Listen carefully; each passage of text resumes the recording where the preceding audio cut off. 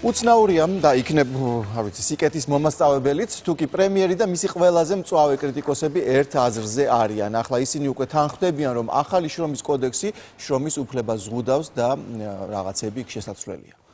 როდესაც შრომის კოდექსი გვინდა ევროპულს დაამსგავსოთ და იქაც არის პოლემიკა გარკვეულ საკითხებზე და ახლოს ავართ რომელ მხარე დავიჭიროთ დაქირეებულის დამქირეებლის, ამ ეტაპზე უნდა დავიჭიროთ დამქირეებლის მხარე. ჩვენ უნდა მოვახერხოთ და პირველ ეტაპზე და ამ ეტაპზე ადამიანური პირობები შეუქმნათ დაქირავებულებს, მაგრამ ინტერესი არ დაუკარგოთ ინვესტორებს. პირველი მოსმენით პროექტს, რომელსაც აგრეთიკეს მარგველაშვილი, აბსოლუტურად ვეთანხმები, არ შევაშინოთ ინვესტორები. თუ ინვესტორებს შევაშინებთ, ჩვენ შეგვიძლია საუკეთესო შრომის კოდექსი შევქმნათ, ეხლა, რომელსაც ვიამაყოთ თელსოფლიოში, მაგრამ სამუშაო ადგილები არ შეიქმნება და ყველა ძირითადი უსამართლობა დარჩება ისე. კი ექნებათ პირობები, მაგრამ არ ექნებათ სამუშაო ადგილები. კოდექსი არ ქნიდა კი არა, კოდექსი არ უშლიდა სამუშაო ადგილების შექმნას, არ უშლიდა. და ეს კოდექსი შეუშლის სამუშაო ადგილების შექმნას. მიუხედავად იმისა, რომ მე ბევრი დისკუსია მქონდა ბატონ გიორგი მარგულაშვილთან და აგრარული უნივერსიტეტთან დაკავშირებით, ზოგადად მის ბევრი დიას არ ვხები, აქ მინდა 100%-იანად ხარი დავუჭირო იმას, რაც მან თქვა. თუმცა აკაკი პროექტი პარლამენტმა პირველი მოსმენით უკვე მოიწონა, მას პროექტის ავტორი იუსტიციის სამინისტროც იცავს და ქართული ოცნების ამომრჩეველთა საოცნებო კოდექსსაც უწოდებს. მინისტრი კი პირობას დებს რომ ის როგორც ხალი კოდექსში ხალთა უფლებების დაცვის ახალ ტალღას ჩაუდგება სათავეში. და მაშინ ვინ დაიცავს კაცების უფლებებს და თუ ეს სექსისტურად არ გაიჟღერებს, მათი ვთქვათ, ვისაც ბიზნესის წარმოება სურს და ახალი კოდექსი ამის საშუალებას არ აძლევს, როგორც ექსპერტები მიიჩნევენ. სანდრო ბარამიძე ახალი კოდექსის ერთ-ერთი ავტორი და იუსტიციის მინისტრის მოადგილე და ვახტანგ მეგრელიშვილი ჯანდაცვის მინისტრის ყოფილი მოადგილე და ძველი კოდექსის ერთ-ერთი ავტორი არიან ჩვენი სტუმრები ამ თემაზე. მოგესალმებით ორივეს და მოდი ჯერ კრიტიკ პოლიტიკური შეფასებები მოვისმინოთ და შემდეგ უკვე რას ფიქრობს ახალი ხელისუფლება შევიტყოთ. ბატონო ვახტანგ, თქვენ მოგმართავთ, არ ვიცი იცით თუ არა, მაგრამ ზურგს უკან წლების წინ თქვენ ქალთ მოძულესაც გიწოდებდნენ, იმიტომ რომ თქვენ ინიციატივით დეკრეტული შვებულება მაშინ ანაზღაურება განისაზღვრა 150 ლარით. დღევანდელი გადმოსახედიდან თქვენ ფიქრობთ თუ არა რომ აი ამან გამოიღო ის ეფექტი, რაზეც იყო გათვლილი, ანუ რაღაც სიკეთე მოუტანა მთლიანობაში ეკონომიკას თუ ბიზნესს? გამარჯობა თაკაკი. როგორც თქვენ წეგალ პატარა სიუჟეტებშიც ნათლად გამოჩნდა, ბატონი კახა ამბობდა ბენდუკიძე, თვითონ შრომის კოდექსი როგორც ასეთი სამუშაო ადგილებს არ ქმნის, ეს არ არის მისი ამოცანა და უბრალოდ ეს დოკუმენტი და სამუშაო ადგილების შექმნა ერთმანეთთან პირდაპირ კავშირში არ არის. რა თქმა უნდა, სხვა პირობებია საჭირო იმისათვის, რომ სამუშაო ადგილები ქვეყანაში შეიქმნას. შრომის კოდექსის ძირითადი ამოცანაა თუ შეიძლება ასეთი იყოს შესაძლებელია რომ ეს სამოქალაქო კოდექსითაც ეს ურთიერთობები ჩაოლებრივად დარეგულირდეს მაგრამ რადგან შრომის კოდექსი როგორც ასეთი არსებობს მისი მისი ფუნქცია როგორ შეხედავს ურთიერთობებს ორ მხარეს შორის ანუ დაქირავებულსა და დამქირავებულებს შორის. რამდენად თქვათ მათ მიცემს მე თავისუფლებას და ფილოსოფია აი ამ ორი ორი ტიპის დოკუმენტის თქვათ რომელიც დღეს მოქმედებს და რომლის მიღებაც ეხლა იგეგმება არის ერთმანეთსგან თქვათ რადიკალურად განსხვავებული ხო? აი წარმოიდგინეთ ერთი შეხედულება არის ასეთი რომ ჩვენ თუ ადამიანებს მაგალითად თქვენ როგორც ახლა ქალები ახსენეთ, ხო? ბოლო ხანს გაიჟღერა როგორც ფოკუსირება მოხდა. კი, კი, და თქვა ნუ პერსონალურად რაღაც თვალსაზრისით ეს საკითხი მიკავშირდებოდა თავის დროზე. ანუ ერთი შეხედულება არის ასეთი, რომ ჩვენ თუ იმ ადამიან იმ ქალებს, რომლებიც დღეს მუშაობენ რაღაც განსაკუთრებით განსაკუთრებულ პირობებს, შეუქმნით სამუშაო ადგილზე, ეს ნიშნავს მათი უფლებების დაცვას. მაგრამ ამის საწინააღმდეგო პრინციპული პოზიცია, ანუ შეიძლება ვთქვათ ფილოსოფიური პოზიციაც არის ის, რომ ჩვენ თუ ასეთ პირობებს ვა დაიძულებთ ქალების მიმართ, რომ დამქირავებლებმა შექმნან, ეს იმას ნიშნავს, რომ დამქირავებლებს ვუჩენთ უზარმაზარ სტიმულს, რომ ეს ქალები საერთოდ არ დაიქირავენ.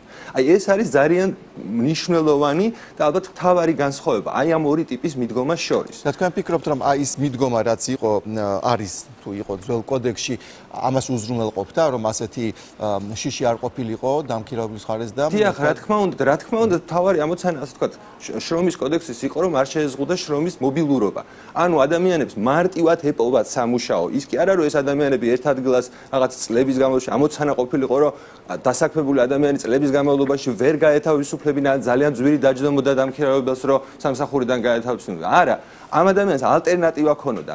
იმ შემთხვევაში, თუ თავისინებით ან დამქირავებლის სურვილით ეს ადამიანი ერთი სამუშაოდან მეორე სამუშაოზე ამ ერთი მოუწოდა გადააწყდა. კიდევ რას გამოყოფდით თქვენ რაღაც უმთავრეს სადისკუსიო თუ სადებატო მომენტად ამ ახალ კოდექსში თქვენი აზრით რა არის იქ ასევე ყველაზე თქვათ საკამათო? ჩემი აზრით ყველაზე საკამათო რაც ახალ კოდექსში არის, ეს არის პრინციპულად თავისუფალი მოლაპარაკების პროცესში, აი ამ ორი მხარის თავისუფალი მოლაპარაკების პროცესში და ეს არის ფაქტობრივად მენეჯერული გადაწყვეტილება დამქირავებლების, აი ეს მოლაპარაკება არის შედეგი რაღაც კონკრეტული გადაწყვეტილების, ხო, მენეჯერული გადაწყვეტილების, რომელსაც პასუხი, რომელსაც პასუხისმგებელი არის მენეჯერი, რომ ის ან ქირაობს, ან ათავისუფლებს დასაქმებულს, ხო, სამსახურიდან. აი ამაში მესამე მხარის ჩარევა არის აი რადიკალური ცვლილება, აი წარმოიდგინეთ, ნებისმიერი ნებისმიერი დავის შემთხვევაში, თქვა კოლექტ აი რაღაც მასობრივი დათხოვნის შემთხვევაში, ახალ კოდექსში განსაზღვრულია სამხრივი კომისია, რომელმაც ფაქტობრივად უნდა დაადასტუროს, რომ მე როგორც თქვა სიტყვაზე მენეჯერმა სწორი გადაწყვეტილება მივიღე, როდესაც თქვა 50 დასაქმებული ერთდროულად დავითხოვე, იმიტომ რომ ჩემ ბიზნესს ქონდა ასეთი ეკონომიკური საჭიროება. თუ არა და თქვა გავკოტრდებოდი და კიდევ 200 ადამიანი დაკარგავდა მაგალითად სამუშაო ადგილს, ხო? და უცბად თქვენ წარმოიდგინეთ, რომ ამ კომისიამ მიიღოს დამქირავებლის საწინააღმდეგო გადაწყვეტილება ეს 50 ადამიანი თქვა დაბრუნდეს სამსახურში და კომპანია გაკოტრდეს. ეხლა მითხარით, ვინ იქნება პასუხისგებელი? ანუ იმ შემთხვევაში თუ ეს მენეჯერული გადაწყვეტილება არასწორი იყო, ბუნებრივია, რომ აგებდა პასუხს ბიზნესი თავისი კაპიტალით. ამ შემთხვევაში სახელმწიფო კომპენსაციას გადაეჭდის. არ გიპასუხებთ ბატონ სანდროს კითხოთ, დიდი მადლობა, არ წახვიდეთ. და ბატონ სანდროს მიმართავ ეხლა კითხვით, მოდით რახან ქალების თემით დავიწყეთ და ბოლო ხანს სწორედ ამან გაიჟღერა იუსტიციის ministris მხარეს თქვენ როგორ უყურებთ თქვენ თქვენში როგორც მამაკაცი ეს პროტესტს არ ბადებს რომ თქვენ არ ხდება ფოკუსება თქვენ მამაკაცების უფლებებზე.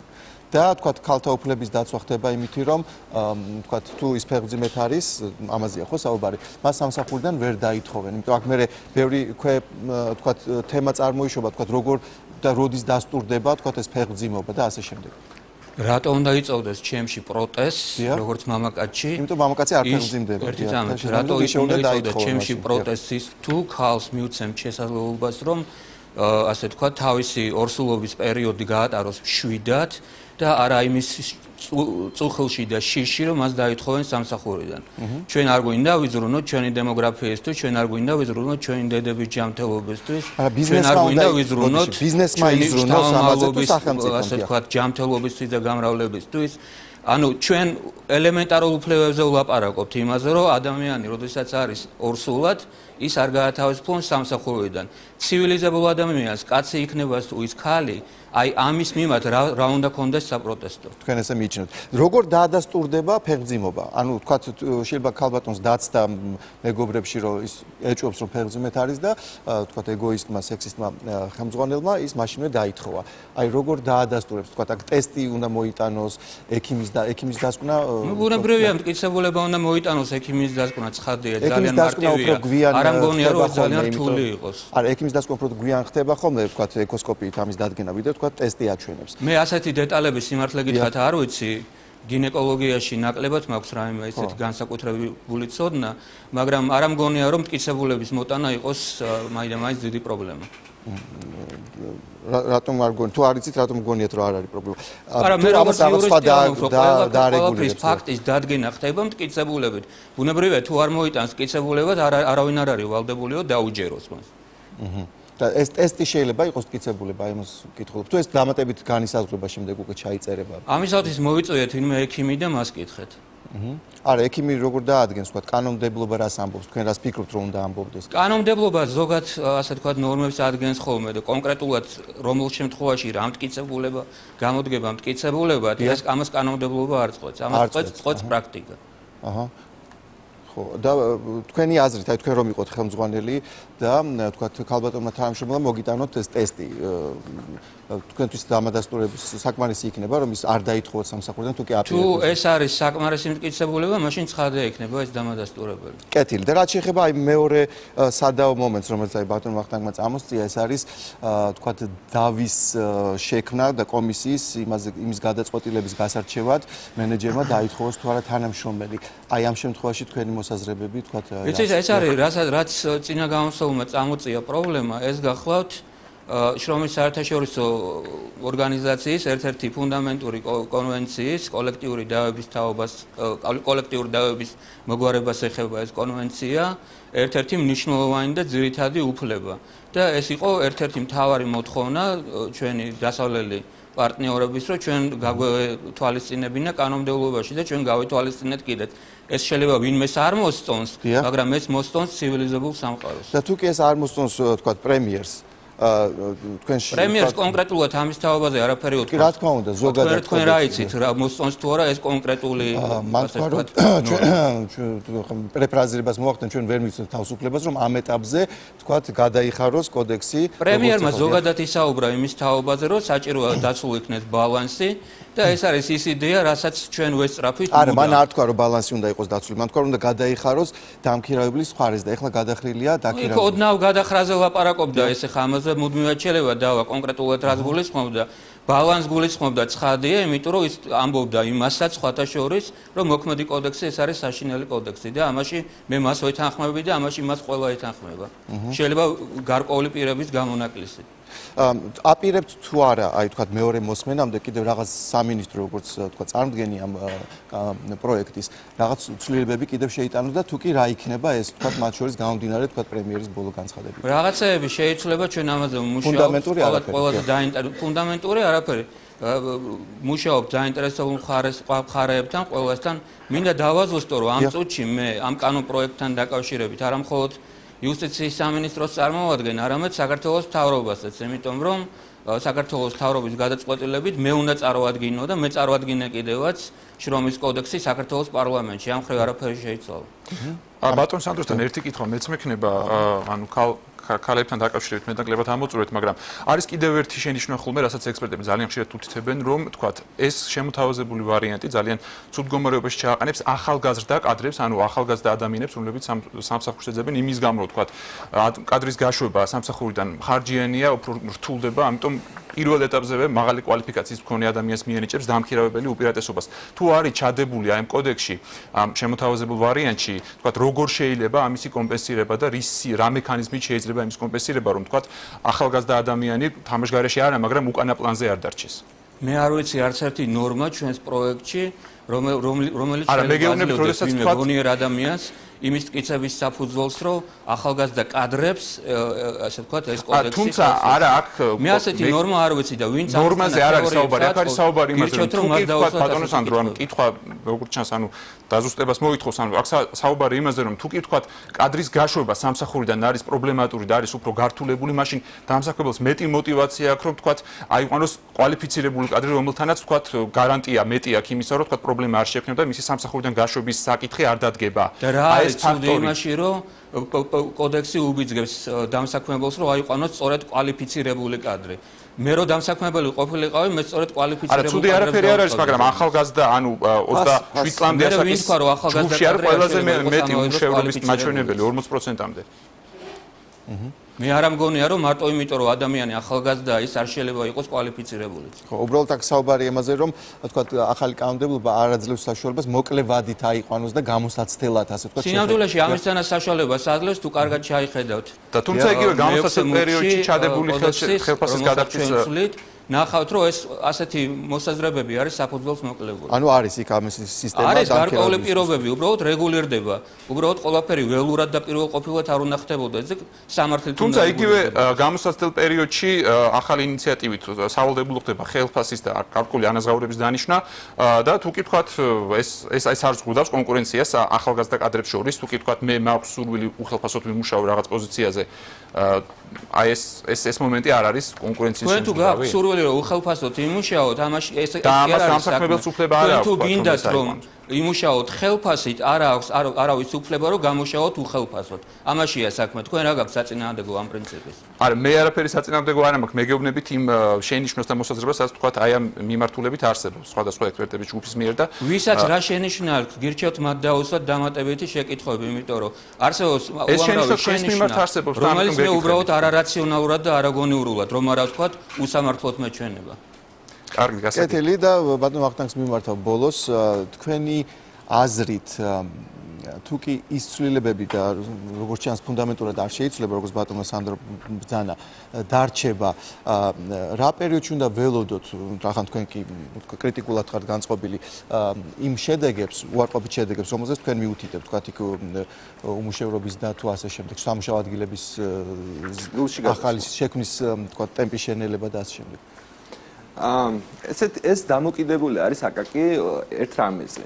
ანუ მაგალითად ჩვენ 2006 წლამდე ვიდრე დღევანდელი მოქმედის შრომის კოდექსი გვექნებოდა, ქონდა ბევრად უარესი კოდექსი, ვიდრე თქვათ ახალი მთავრობა ეხლას თავაზობს პარლამენტს, ხო?